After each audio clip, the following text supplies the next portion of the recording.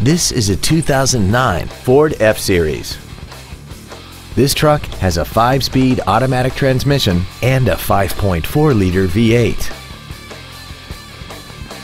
Features include a low tire pressure indicator, air conditioning, front and rear reading lights, a trailer hitch receiver, an engine immobilizer theft deterrent system, 12-volt power outlets, an anti-lock braking system, a passenger side airbag, door reinforcement beams, and this vehicle has less than 27,000 miles. Contact us today and schedule your opportunity to see this vehicle in person. Cal Worthington Ford is dedicated to doing everything possible to ensure that the experience you have selecting your next vehicle is as pleasant as possible.